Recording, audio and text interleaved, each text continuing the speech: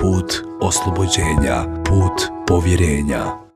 Dobro večer, poštovani gledatelji. Dan nakon jakoga nevremena koje je zakvatilo dijelove Bosne i Hercegovine, zbrajaju se štete i sanira šteta. No prije informacija o pogođenim područjima, vijest o teškoj nesreći koja se dogodila u tunelu kod Olova. Tri osobe su poginule, a sedam ih je povriđeno u teškoj prometnoj nesreći koja se oko 13 sati dogodila na magistralnom putu M18 Olovo kladanju u tunelu Bjeliš. Dvije nastradale osobe podlegle su povredama u službi hitne medicinske pomoći Olovo. Treća osoba preminula je nekoliko sati kasnije. U desu su sudjelovali kamion, dva automobila i kombija. Prema informacijama koje prenosi portal Oslobođenje, prizor na mjestu nesreće je bio stravičan. Po cesti je bilo razbacano staklo i dijelovi vozila koji su u potpunosti bili smrskani. Četiri povriđene osobe hitno su prebačene na Sarajevski klinički centar. Na području općine Kalesija proglašeno je stanje prirodne nesreće i to na području šest mjesnih zajednica Seljublje, Hrasno, Kikači, Tojšići, Vukovlje Gornje i Vukovlje Donje. Jaka kiša i bujice poplavile su preko 20 stambenih i nekoliko privrednih objekata. Uništen je jedan i oštećena dva mosta. Uništena infrastruktura na stadionu futbalskog kluba Mladost Kikači i Sloga Tojšići koji vodovodne cijevi u naseljima Kikači i Tojšići koji su ostali bez vode udario je bijeli oblak, to ti je kod je Sava se iz neba pustila na nas. Tuklo je direktno u crijep, u prozore, nema šta nije proksilo na, na, na, na kući, na objektima. Ja sam sjetio se 1999. i 2014. da je to gotov još gora katastrofa. Zatutnjalo je malo grmljavine, ja sam se uspio vratiti. Pa trebalo je prvo da se krene, znači da se radi korito rijeke i most i drugo, znači ako se krene da se ide redom i da se radi do kraja. A krenulo je se odzvo pa je se stalo. Sad kad će se tu doći na red ovaj dio, to se ne zna, znači niti ko kaže kad. A jučer su zbog obilnih kiša mjesne zajednice Siminhan, Požarnica i dio mjesne zajednice Gornja Tuzla zadesile poplave i klizišta. Prema izvješću službe civilne zaštite koja je odmah u toku i nakon poplave intervenirala na terenu, razmire poplave u ovim mjesnim zajednicama su veće nego one 2014. godine. Gradski stožer civilne zaštite Tuzla je donio zaključke da službe zaštite i spašavanja nastave sa aktivnostima na otklanjanju posljedica poplava i pomoći građanima i poslovnim subjektima koje su između ostaloga odnosi na odvoz nanosa i krupnog otpada, dezinfekciju prostora i objekata, kao i što bržu sanaciju komunalnih objekata na terenu i interventnu sanaciju klizišta. Nevrime na području Bihaća, a posebice u naseljima Turija, vrsta Muhina Vrba, uzrokovale su značajne materijalne štete na desetak domaćisteva. Obilne padavine donijele su poplave i snažne bujice koje su nosile doslovce sve pred sobom. Najdramatičnije bilo je u naselju Turija gdje je vodena bujica za sobom povukla i 11-godišnju djevojčicu koju su spasile komšije i pripadnici MUPA. Voda je izbila u roku 15 minuta. Mene je pozvao ovaj sin da idem u pomoć njima. Ali ja nisam mogla stići prijeći od svoje kuće kad nije voda nosila nas. Ne možemo prijeći. Vodena bujica uzrokovala je i saobraćajnu nesreću. Uz brzu reakciju pripadnika policijskih službenika, sve tri osobe iz putničkog vozila koje je bilo potopljeno evakuirane su bez težih ozljeda, a nakon olujnog vremena mještani naselja zbrajaju štete. Kad se jednom za pet minuta pojavi slumi građu, drva nosi ovde i cesti i još šta je ovo, ali ide vaki od metra val ide i to sve. Harla, ako nema šta drugo, Pa drva su bila tamo na gomili, spremna za cipanje, bila iscipati par metara, ali ono je to sve kuplo vamo, nešto odnilo dole, građu odnilo mi dole, isto jedno kubik daske tu je na cesti tamo desno bacilo, šta još, haus je napravilo živat, poništilo sve, u čumas nema sve mrtvo. Ona od WC-a, ona bujice, to je krenu. I onda otamo nabrlo preko toga pozda je išlo.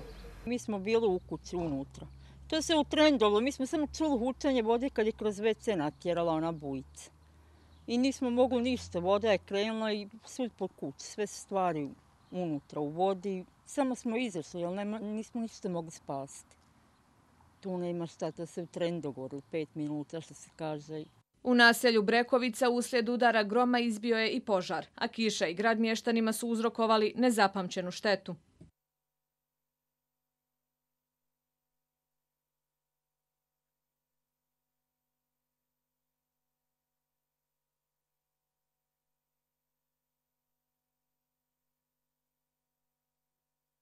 Pripadnici civilne zaštite grada Bihaća su na terenu i pružaju pomoć mještanima. Trenutno se radi na planu aktivnosti sanacije nastalih šteta. Nakon uklanjanja odrona, promet na dionici autoputa A1 Kakanj-Zenica opet je u funkciji. Obustava prometa nešto duže trajala je na uključenju na autoput na naplatnom mjestu Lašva prema Kakvi. Podsjećamo, jučer je na ovoj dionici došlo do odrona kojega je prouzročila obilna kiša. Materijal kojeg je kiša nanijela neprestalno se uklanja sa ceste. Ali je to ove godine u Bosni i Hercegovini nije dugo trajalo, ako ga je uopće i bilo. Ipak meteorolozi najavljuju toplotni val, no neće dugo trajati. Tek dan i dva da nas podsjeti da temperature ljeti mogu preći i 30 stupnjeva. U Bosnu i Hercegovinu već u ponedeljak stiže toplotni val koji bi prvog dana svoga djelovanja mogao biti izuzetno jak. Iznad prosječne temperature građani će moći očekivati do srijede. Biće zabilježen kontinuiran rast kako jutarnjih, tako i dnevnih temperatura. Ove godine toplotni val na naše prostore dolazi malo kasnije. Imaćemo to, e, taj osjećaj ljeta konačno možemo reći jer Europski centar za e, srednjoročnu prognozu vremena, odnosno model ECMWF i globalni model za prognoziranje vremena GFS upućuju na to da će ipak nad Bosnu i Hercegovinu doći izvjesna stabilizacija vremenskih prilika. Nakon ljetnjih hiša građani će se morati pripremiti za znatno visoke temperature. Ipak rast temperature ne znači da neće biti kiše. Kada govorimo o temperaturama koje očekujemo u narednim danima, govorit ćemo naravno o ovim dnevnim, one su uglavnom između 28 i 34, lokalno i do 36 stepenja Celzijusa. Uglavnom je to područje Hercegovine i Posavine. Što se tiče vremena, sutra uglavnom pretežno sunčano, Posle podne na stabilnosti u vidu pljuskove grnovine očekujemo već standardno u centralnim, istočnim i sjeveroistočnim područjima. Iako meteorolozi od ponedjeljka najavljuju temperature do 38 stepeni, građani Bosne i Hercegovine i narednu sedmicu mogu očekivati kišu. Iako djeluje kao iznenađenje, mnogima kiša ne smeta. Kažu niže temperature im više odgovaraju od onoga što ih čeka u ponedjeljak. Kakvi ljudi, tako i vrijeme. Baš lijepo, nije hladno, kiša pada, malo kiša, malo sunce, eto. Sandale ne možemo ni stići obući, jak bez kiša brana negdje. Pa lijepo. Povremeno bude toplo, povremeno kiša, malo rasladi. Meni je u redu. Odgovaram da ne voli vrućine, to je to. Uprko s visokim temperaturama neće biti potrebno proglašavati naranđasti ili crveni meteoalarm. Nagle promjene vremena mogle bi uticati na osobe koji imaju kardiovaskularnih problema. U augustu prema navodima meteorologa moglo bi biti nešto toplije od ostatka ljeta.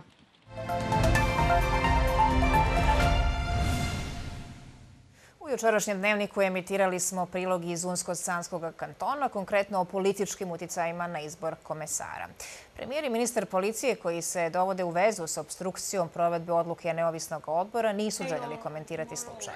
Zašto? Pokazalo se veoma brzo. Vlada je na zatvorenoj sjednici zatražila poništenje konkursa. Razlog? Navodno neispravna dokumentacija o radnom stažu. Problem je što se stavovi odgovornih u stvari u vladi ne poklapaju sa mišljenjem onoga neovisnog otpora. To je jedan od uvjeta koji je ovaj, tražen i e, konkursnom procedurom koji je trebao biti dostavljen. Međutim, nijedan od kandidata to nije dostavio i to je evidentirano u samoj informaciji. I u samoj proceduralna ta greška je evidentirana i i naredbi kao kantonalnog tuživaštva.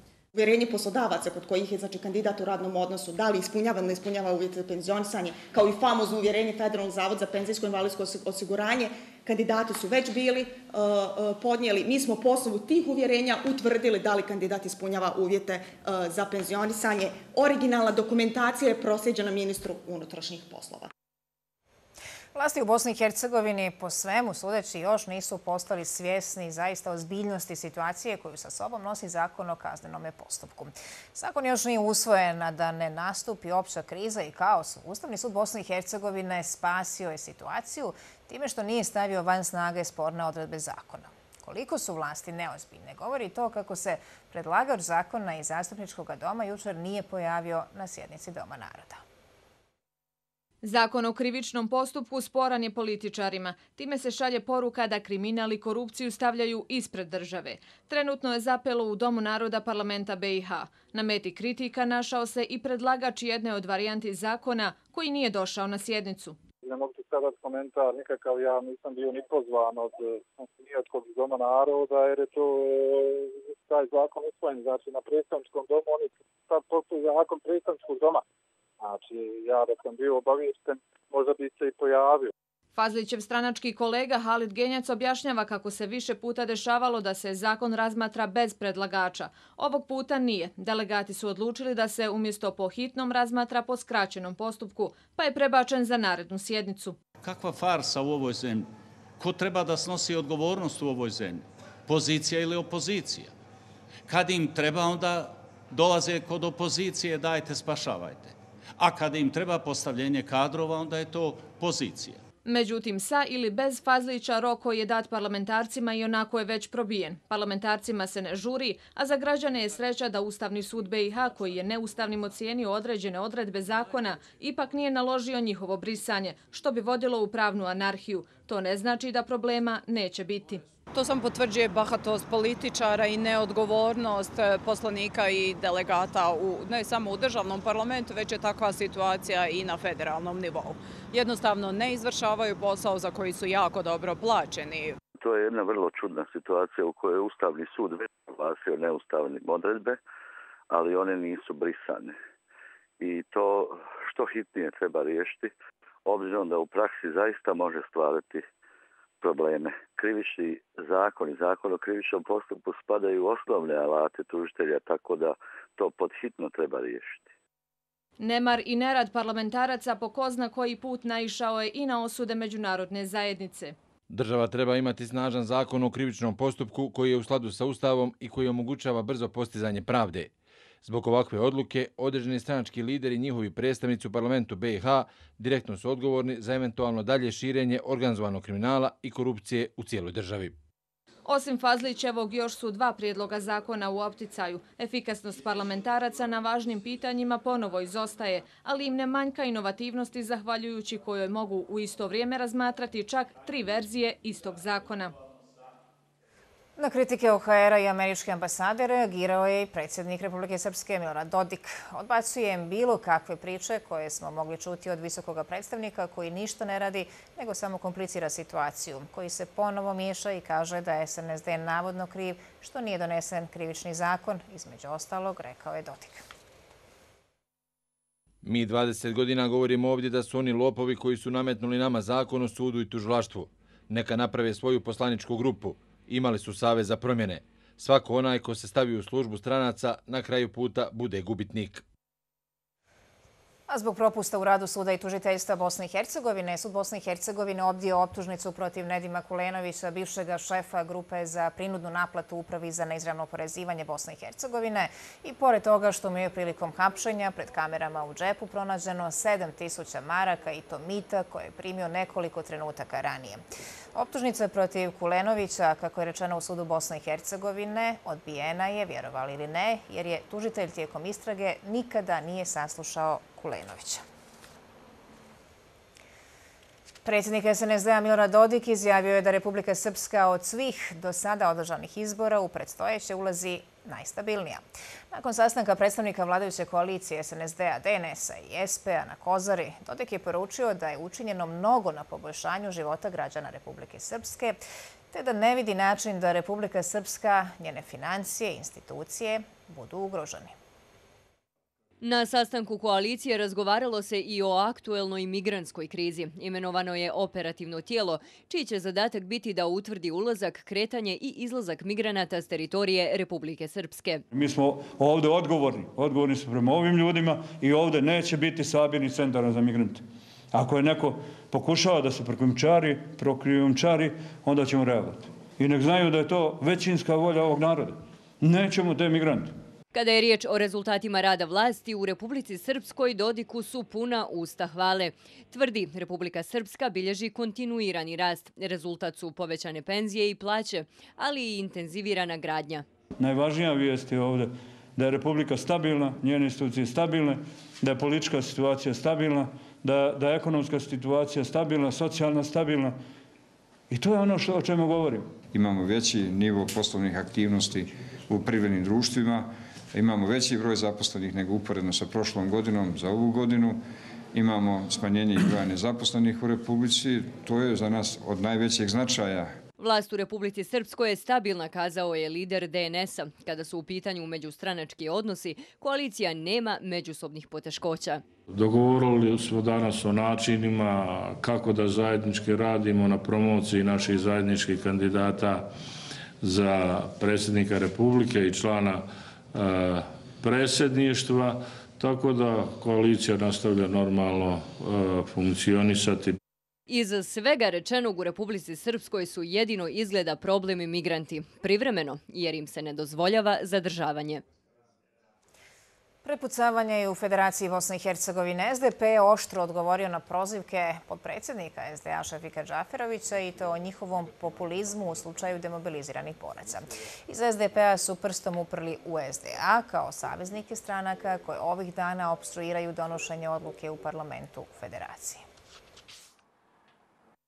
Zašto je SDA izglasala Dodikovog puzigaću pored Zlatnog ljiljana armije Republike Bosne i Hercegovine iz SDP-a? Zašto je SDA zajedno sa HDZ-om sedam mjeseci blokirala mogućnost da se zakon o izbornim jedinicama uopće razmatra u parlamentu Federacije Bosne i Hercegovine?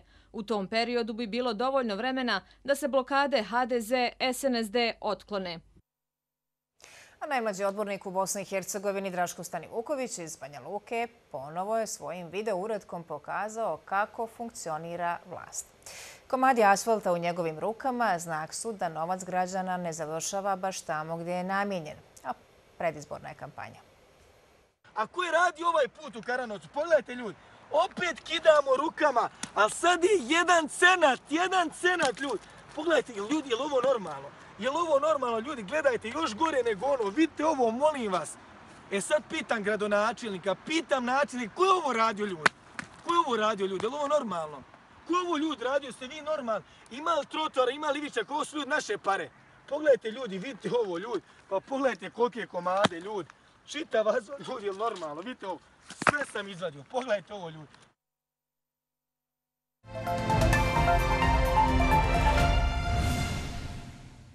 Srbija i Kosovo još nisu blizu dogovora, ali svima je jasno da do njega zaista mora doći i to pod pritiskom međunarodne zajednice. Obje strane, čini se javnost, pripremaju na moguće rješenje, no zabrinjavajuće je da se pri tom koriste čak i prijetnje, pa i one ratom.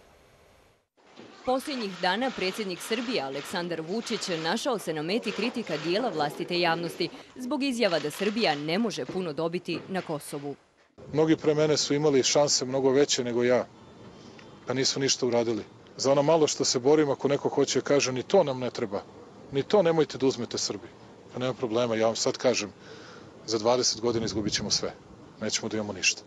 Ne postoji gotovo rešenje za Kosovo i Metohiju da bi o njemu uopšte mogli da govorimo i bilo bi dobronamerno da svi sačekamo da se rešenje vidi, da se ponudi, pa da se tek onda izjasnimo o njemu. Sa kosovske strane stižu zahtjevi za autonomijom Preševske doline, ali mnogi smatraju da se iza toga krije samo želja za učvršćivanjem postojećih pozicija u pregovorima.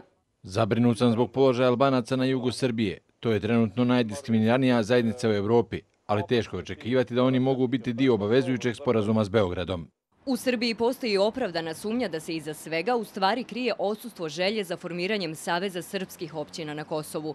Sve češće se pominje i riječ rat u slučaju pokušaja prekrajanja granica. A upravo u Briselu je dogovoreno i to više puta najdirektnije da se pretnji ratom niko neće mašati zato da bi rešavao pitanje Kosova i Metohije. Paralelno sa briselskim pregovorima evidentni su i nešto intenzivniji kontakti predstavnika Srbije i SAD-a. U tom pravcu idu i poruke američkog ambasadora u Srbiji Kyle Skata da srpsko-američki odnosi opet mogu biti kao prije stotinu godina. Optimističan je šef srbijanske diplomatije koji je ovih dana boravio u SAD-u. Treba iskoristiti ovaj momentum, odnosno ovaj pozitivan trenutak da sa novom američkom administracijom dođemo do, e, do rešenja za probleme u regionu koji bi bili u interesu stabilnosti regiona. Ostaje da se vidi mogu li zaista predstavnici Srbije i Kosova prevladati teškoće koje se konstantno nameću kroz zamrznuti konflikt i crvene linije. S obje strane granice to je pitanje historijske i moralne hrabrosti. Hotel Partizan u Niškoj banji sinoć je izgorio u požaru, zbog čega je vatra počela da gori na krovu i dalje se ne zna. A u policiji navode da nitko nije povriđen. Vatra se pojavila u gornjim katovima i brzo se proširila na krov.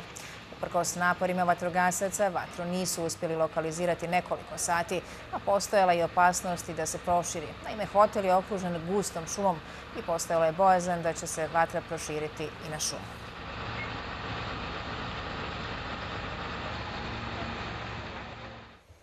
Požar koji bjesni u kalifornijskom okrugu Šasta zbog jakoga vjetra uzrokovao je vatrena tornada koji prevrću aute i čupaju stabla, rekao je službenik vatrogasnog odjela prenosi BBC. Tisuće ljudi je evakuirano. Na terenu je prema informacijama CNN-a više od 1700 vatrogasaca. Na gašenju požara sudjeluje i 17 helikoptera te 62 buldožera. Dvojica vatrogasaca preminula su tijekom gašenja požara, a broj ozlijeđenih još nije poznat. Iz lokalne bolnice su izvijestili kako liječe osam ljudi od lakših opekotina. A broj mrtvih u požarima koji su u ponedeljak poharali obalu kod Atene popeo se u subotu na 88, među kojima troje djece, bliznakinje i dječak, čija sudbina dirnula zemlju. Pronađene su utorak ujutru zagrljene sa djedom i bakom s još 26 spaljenih tijela. Mati se pokazao kao smrtonosna zamka za ljude koji su se pokušavali domoći mora udaljeno nekoliko metara. Nova žrtva, 40-godišnji muškarac, preminuo je u bolnici u kojoj je još desetak žrtava i u teškom su stanju, objavilo je Ministarstvo zdravlja. Kupači na plaži Del Quirelo u Tenerifima u Španjolskoj bili su zatečeni kada se na obalu iskrcalo 50-ak migranata. Na snimku koji je nastao jučer vidi se prenatrpan gumeni čamac kako pristaje na obalu i migranti koji iz njega iskaču i bježe ka obližnjoj šumi. Među migrantima bilo i djece i najmanje jedna trudnica, prenoski španjolski pa i. Latinoamerički karteli poznati su po svojoj okrutnosti i bezdušnim ubojstvima novinara, policajaca, vojnika i političara. Raspisali su sada nagradu za ubojstvo ni manje ni više nego policijskog psa tragača. Sombra, policijski pas tragač, postao je zvijezda u Kolumbiji zbog svoje učinkovitosti u pronalasku droge. Saslužan je naime za hvatanje čak 245 članova narkokartela i zapljenu čak 9 tona kokaina. Narkokartel Urabenos raspisao je nagradu od 200 milijuna pezosa, odnosno 70 tisuća dolara, tko ubije psa Sombra, objavila je kolumbijska policija. A policija Južnoj Karoline objavila je snimak na kojem se vidi potjera za 22-godišnjom djevojkom koja je nakon prometnog prekršaja pokušala pobjeći policiji. Nakon što je odbila zaustaviti vozilo, djevojka je nakratko popustila policijskim zahtjevima na obližnjem parkiralištu gdje su policajci uspjeli da uhapse njenoga suputnika. Upravo u tom trenutku djevojka je pritusnula gas i krenula u bjekstvo. Međutim, nakon što ju je policijski automobil potkačio, njen automobil se isprevrtao i to nekoliko puta. Djevojka je poslije nesreće prebačena u bolnicu, a nedavno se pojavila i na sudu.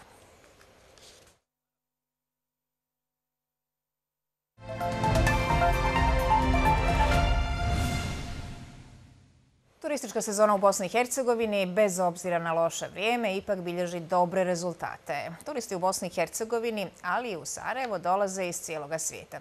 Kažu, zadovoljni su Sarajevom kao gradom, ali i ljudima koji su, po njihovim riječima, veoma gostoljubivi.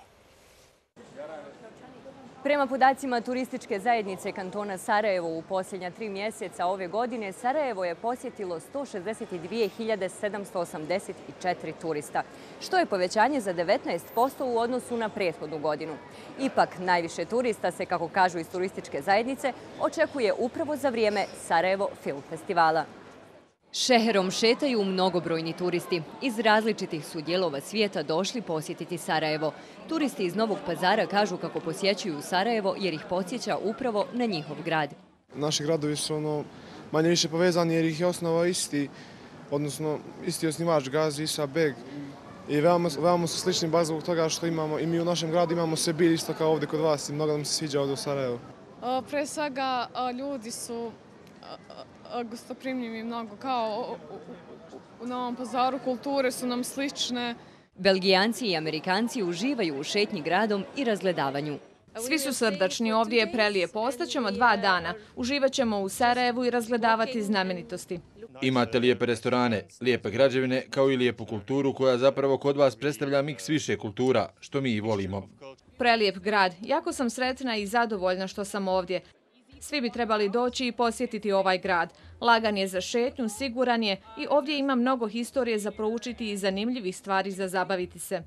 Sarajevo posjećuju i turisti iz još daljih zemalja nego što je to Belgija. Stanovnici Sjeverne Koreje kao i Jemena uživaju također na Sarajevskoj čaršiji. Sarajevo je očaravajući grad. Mislila sam da je ovo još veći grad, ali u isto vrijeme je zaista lijep.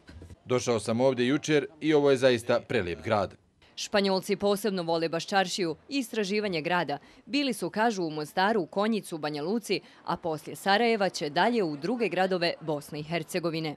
Vidjeli smo Baščaršiju, malo prije smo bili u crkvi, a poslije smo otišli do stare kuće koja datira još iz Osmanskog carstva. Sada smo u Sarajevu, a planiramo sljedećih dana obići i druge gradove. Građani tvrde da turisti i tekako imaju šta za vidjeti u glavnom gradu Bosne i Hercegovine. Ponosni su kažu što svake godine ima sve više stranaca. Pa uvijek može više, ali ja mislim da je odlično. Sarajevo dosta nudi turističkih destinacija. Onaj, sve su postale atrakcije te, sve više i više obilazi ljudi i svake godine se kao zove može osjetiti razlika i to onaj, ima se više što za vidjeti. Prema procjeni Svjetske turističke organizacije, Bosna i Hercegovina će imati treću najveću stopu rasta turizma u svijetu do 2020. godine. Prihodi od turizma daju veliki doprinos bosansko-hercegovačkom gospodarstvu. Kao rezultat toga, Bosna i Hercegovina sada ima snažan godišnji rast dolaska turista i brzo širenje usluga u ovom sektoru. Osim glavnog grada Sarajeva, najvažnije turističke destinacije su i grad Mostar, Međugorje, Neum i Teslić. Na Sarajevskoj Bašaši održan je Fičo Fest na kojem je bilo izraženo više od 60 legendarnih automobila. Defileom Fičo obilježena je 63. obljetnica postojanja. Zaljubljenici u popularnog Fiću pristigli su iz cijele Evrope. Automobili su bili predstavljeni i na Wilsonovom šetalištu. Ovaj današnji dan mene vraća 50 godina unazad. Tačno znači u 68. Tad sam u proljeće negdje kupio nekog fiču starog 4-5 godina, još imao na vrata na otvaranje naopako za razliku od bi koji su ovdje. Fičo je bio prvi automobil, ma to su vremena kad je ekonomska situacija bila takva da nije se moglo ni razmišljati o nekim skupljim automobilima i tako dalje. A Fičo je bio dobar auto, prihvatljiv za naše ljude koji su živjeli ovdje i mislim, Fičo je legenda. Toliko u dnevniku. Hvala na povjerenju i lijep pozdrav. you